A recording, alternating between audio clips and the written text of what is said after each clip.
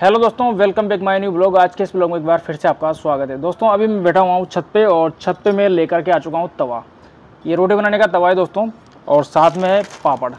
तो आप सोच रहे होंगे कि मैं इनको क्या करने वाला हूँ और किस लिए मैं ये वीडियो बना रहा हूँ। तो जैसा कि आपने थंबनेल में देख लिया होगा, आज हम रियलिटी चेक करने वाले हैं नौ की। अभी काफ़ी ज़्यादा धूप पड़ रही है और सब जगह हीट वेव चल रही है। और इसी कारण से जो सभी लोग काफ़ी ज़्यादा परेशान हैं। तो आज हम रियलिटी चेक करेंगे कि दिन के 12 बजे से लेकर और 1 बजे के बीच में कितनी धूप पड़ती है और इस दौरान क्या हम जब इस तवे को यहाँ पर छत पर रखेंगे और छत पर रखने के बाद में मेरे पास में यहाँ पर देख सकते हैं पापड़ है। क्या ये इसमें सीख पाता है या नहीं सीख पाता है?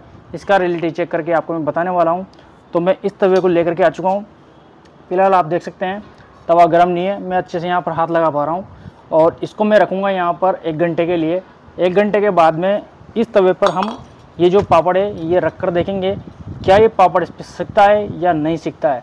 तो इसका रिलेटिव चेक हमें पता लग जाएगा कि दिन के 12 बजे और 1 बजे के बीच में कितनी धूप पड़ती है। मतलब 45 डिग्री से लेकर और 50 डिग्री तक जो मैक्सिमम टेम्परेचर है अभी दिन का रहता है। तो चलिए दोस्तों, मैं इसको एक घंटे के लिए यहाँ पर धूप में छोड़ देता हूँ और फिर वापस से मैं यहाँ पर चेक करने के लिए आऊँगा, क्या ये तवा प्रॉपर तरीके से गर्म होता है या नहीं होता है, कितनी धूप यहाँ पर पड़ रही है, ये सब हमें मालूम पड़ जाएगा। तो चलिए, एक घंटे बाद मिलते हैं आपसे। तो दोस्तों, मैं वापस से आ चुका हूँ अढ़ाई घंटे के बाद और अढ़ाई घंटे के बाद में तवा कितना गर्म हुआ है, इसका रियलिटी चेक करने के लिए। तो थोड़ा मैं आपको कैमरा पास लेके दिखाता हूँ, क्या इससे पापड़ सीखता है या नहीं सीखता है। तो देखिए दोस्तों, मैं रखता हूँ यहाँ पर पापड़ और देखते हैं क्या पापड़ सीख पाता है या नहीं सीख पाता है। रियलिटी चेक कर रहे हैं हम। तवा गर्म है दोस्तों थोड़ा।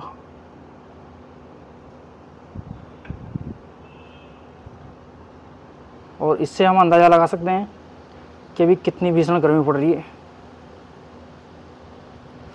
थोड़ा वेट करते हैं हम। ये देखिए दोस्तों, यहाँ पर किनारों पर भी जो हमारा पापड़ है, हल्का हल्का पीला होना शुरू हो चुका है।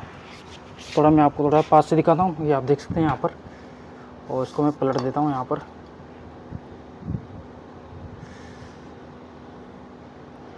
बहुत भयंकर गर्म हो चुका है तवा यहाँ पर।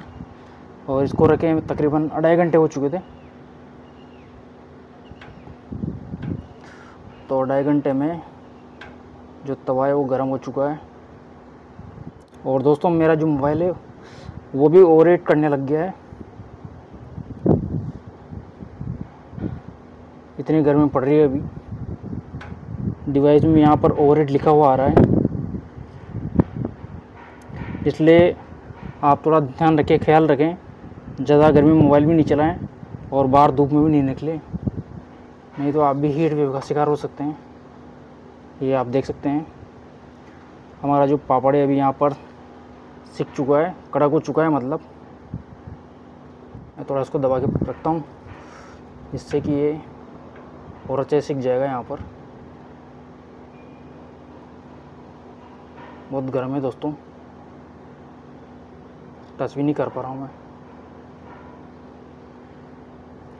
जब ये पूरी तरीके से सीख जाता है दोस्तों, उसके बाद दिखाता हूँ क्योंकि गर्मी काफ़ी ज़्यादा पड़ रही है।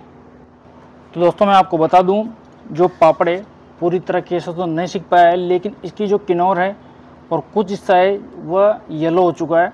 मतलब ये जो पापड़ अभी कड़क हो चुका है, ये आप देखिए। पहले ये मुड़ रहा था अच्छी तरीके से तो ये भी कड़क हो चुका है। कुल मिलाकर ये है कि दिन के 12 बजे से और 2 बजे के बीच में जो तापमान है, वो 45 से 50 डिग्री के बीच में रहता है। तो इस दौरान काफ़ी ज़्यादा धूप पड़ती है और जो सभी चीज़ें हैं, वो गर्म हो जाती है। जैसे कि अभी लोहे से बना तवा है, ये काफ़ी ज़्यादा गर्म हो चुका है और साथ में जो गाड़ी की सीट वगैरह है, वो काफ़ी ज़्यादा गर्म हो जाती है। तो इसलिए आप ध्यान रखें, ख्याल रखें और गर्मी में बिल्कुल भी आप बाहर नहीं निकलें। तो दोस्तों, आपको ब्लॉग कैसा लगा? कमेंट करके ज़रूर बताइए। मिलते हैं दोस्तों हमारे नए ब्लॉग में। तब तक के लिए जय हिंद, जय भारत।